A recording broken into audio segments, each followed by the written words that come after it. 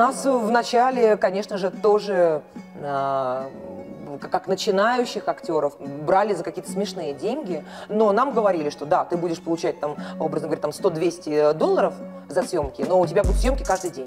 То есть вот у тебя будет только 4 выходных, сколько там воскресений в месяц. И, конечно же, была определенная прогрессия роста, конечно, колоссальная.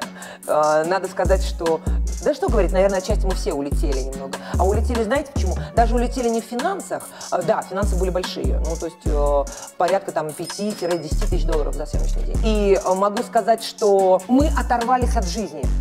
Не потому, что нас, нам деньги там кружили голову, нет.